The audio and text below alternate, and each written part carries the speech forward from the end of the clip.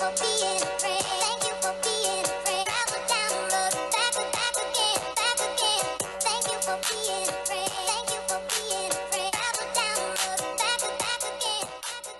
everybody, Goldie here, and today we are taking a look at the newest character in WWE Champions. Go ahead and sing his song, Seth freaking Rollins. Um, side note, he was in the vote. Nobody voted for him, but he still got a character. Tamina Wen. Um, he is a modern era aggressive showboat. This is his second showboat character. Uh, the icon exists for those of you that forgot. Trainer ability at 26k. Any color gems do 40% more damage, and moves that generate Juggernaut gems will create one more Juggernaut gem. So here is the Juggernaut gem trainer we have been waiting for. Links. Raw, any color moves start with one more move point. Modern era gems do 5% more damage. No gears, but uh, this dude has the most outrageous outfits. So if they wanted to add gear for him, they could probably add 12. Um, not that he needs it, but the drip would be immaculate. Um, I have a couple different builds we're going to take a look at. We're going to start with the gem damage builds. Uh, the first being with the finisher, 10 MP Stomp. Deal 536,000 damage, make 35 reinforced gems into green gems, and pin the opponent. Green 1 is a chokehold 6 MP submission. Generate 40 random submission gems and do 201,000 damage for 3 turns while submission gems are on the gem board. Remaining submission gems turn into reinforced gems. And green 2, the Sling Blade 7 MP. It's a combo move. De- deal 99,358 damage and increase your yellow MP by 10. Then deal 99,358 damage and increase your green gem damage by 200% for one turn. Does not affect bonus damage. Entourage I'll be using for this Steel for green MP, Big Papa Pump for plus 2 green MP, and 50% more damage to green gems. Hall of Fame Yoko for 100% more damage to the reinforced gems, and Showboat Lex for a flat 12,000 to the greens. Uh, for the belt, we have the 30% gem damage preview strap, two sets of Fury 2s, an all heart plate whenever you generate three or more submission gems, increase your green and purple gem damage by 100% for two turns. And the Seal of the Acolytes Ultimate Plate. Whenever you make six or more submission gems, increase all of your gem damage by 50% for your next turn. All right, y'all ready to see how outrageous this entrance is? Look at that little shimmy. Look at that little shimmy. I was kind of hoping he would conduct, but the shoulder shimmy is fun. Um, all right, so let's take a peek. Before we hit the submission, Green Gem's doing 40k.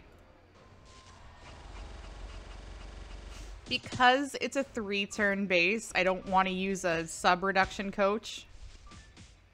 Want to leave as many of these on the board as possible. Um, 40k up to 55, 65 on the reinforce. Let's go ahead and hit the sling blade. Increase our yellow MP increase our green gem damage. So now we're up to 166 on a non-reinforce, 196 on a green reinforced gem. Uh, finishers hitting over a mill. We have, do have a yellow percent metal on. Uh, 35 reinforce into green.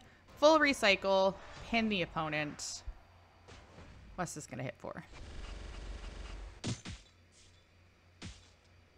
We got all but two. It's 12 mil. 12 mil turn two. It's pretty decent. I know Mello's got reinforced gems too. Oh, look at that little shimmy.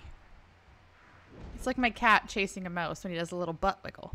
Um, so that is one gem damage build. Let's go ahead and take a peek at the reds. Next build we're going to take a look at is available at six star. We are running triple red. Uh, red one, the diving knee strike, 6 MP. Deal 177,243 damage, and modify a 6x6 random area into reinforced gems. Red 2, the Pedigree 6 MP, deal 178,666 damage and make 40 random gems into red gems. And then the 6 star move, the Ripcord Knee Strike 6 MP, deal 147,400 damage and increase your red gem damage by 150% for one turn. Um, Entourage, I'm going to be using for this Butch for more red MP, Piper for 40% red gem damage and 2 red MP. If you have um, Powerhouse Bulldog at uh, 21k, he'll give you 45%, so use that if you have it. Uh, sticking with Hall of Fame Yokozuna for the 100% more damage to the reinforce, and bringing in Tech Stacy Keibler for the flat 12,000. For the belt, sticking with uh, the Double Fury 2s, the 30%, bringing in the Bulldog's Bracers plate whenever you generate 10 or more reinforced gems. Increase your yellow gem damage by 25% and your red gem damage by 75% for three turns and I don't have the Ghostbuster plate that generates a bunch of random red gems. That is what I would use um, first choice. However, I don't have it, so I'm going to be using the Sheriff's Badge. Whenever you break 15 or more red gems, generate 30 yellow. Um, so just some extra damage there tacked on at the end. But again, if you have that Ghostbuster plate, absolutely use that plate instead. All right, so 43... 31 on the yellow.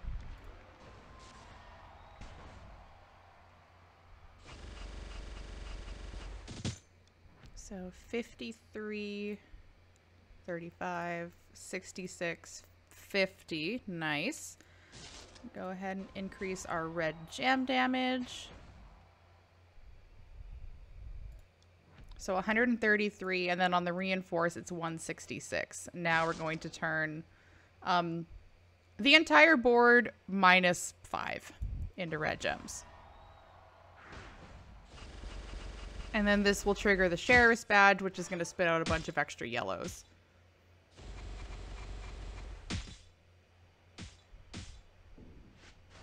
Works for me, dog.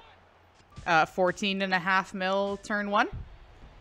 Uh, if you have that red plate for the ultimate, that'll be a lot stronger.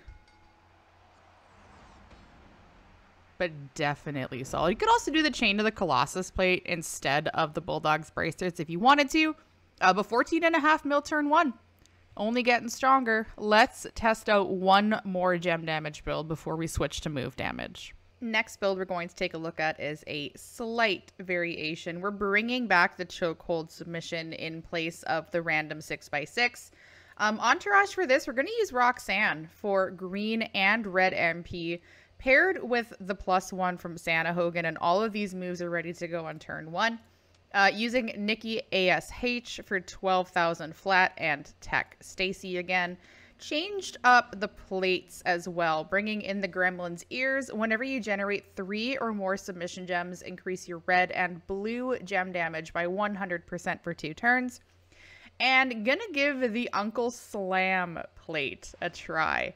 Uh, when you break four or more blue gems, generate 10 random red gems at the end of your turn. This is just me trying to see if I can get some more red gems on the board. Again, if you have that Ghostbuster plate, use that Ghostbuster plate. Trying to see, maybe we crack a, a couple blue matches on a Cascade.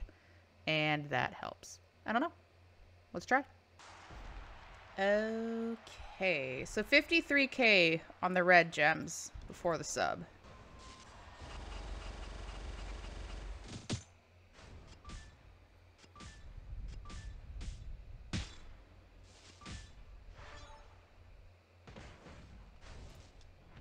Now we're up to 66. Go ahead and increase our gem damage to 167. All right, 40 random into red. This isn't going to recycle the sub, so you're trying to go for a big hit here on turn two. 13.7. We didn't trigger the Uncle Slam plate, But I'm not going to sit here and pretend that 13.7 mil on turn two is bad because it's not. Um, pleasantly surprised at that. Pleasantly surprised. Again, I really wish I had that Ghostbuster plate um, to test out here, but that is going to conclude the gem damage builds. Let's go ahead and take a look at some move damage. Last build we're going to take a look at is the five star build with a move damage focus. We're bringing back the finisher, um, not for the green gems, but for the base damage of 536k. Yellow 2, the straight sidekick, 6 MP, deal 178,666 damage and increase your yellow move damage by 200% for one turn. And the 5 star move, the Snap Suplex, 1 MP, deal 116,249 damage and choose a 1 by 5 area to swap into yellow gems. Entourage for this Kofi for yellow MP. Ozka for yellow MP and move damage because we want to start with this boost on turn one. Bringing in Rikishi, um, so when we hit the one by five, we get six back. And then Gooker for 25% more damage to any color moves. If you have a Hall of Fame Rick Rude for the yellow percent, that's fine. Um, if you wanted to use K Quick on the finisher for 50%, you can. I just feel like this is a little more beneficial. And then for the belt, I have a 50% move damage belt, two sets of takedown twos. The yellow metal is not quite maxed out. We're leaving about 50% on the table here. And because I don't have the whooper plate, I'm just going with a head games. Throw out some random botch gems because we can. We can. I feel like this is going to do a massive amount of damage turn one. We're going to have to add up all the move damage, of course. But I feel like we could do that. Let's do that. All right. Said we were going to add up all the finisher damage. You know your girl had to go and get the calculator. Had to go and get the calculator. And because we're using the calculator, we have to get the math face. Math. Math. All right. Hit me with it. 905251 plus. Gonna hit that first. Cause I'm horrible at math. 1766796 plus. Use. This is where we cascade because I brought the calculator out. You know, never fails. Just kidding. Uh, two seven one five seven five. So I feel like I'm putting in phone numbers in a rotary phone. Aiden's like, "What's a rotary phone?" Uh, two nine four four six six zero.